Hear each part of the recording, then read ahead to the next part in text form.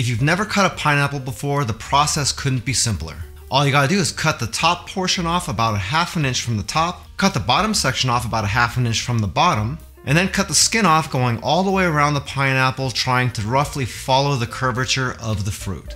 And then you have to deal with the pips or eyelets. You can either use a small knife or a half a teaspoon to cut those out, or you can get rid of them much quicker by just using your knife and cutting the meat down of the fruit a tiny bit more. Doing it that way will save some time, but you'll also lose a little bit more fruit.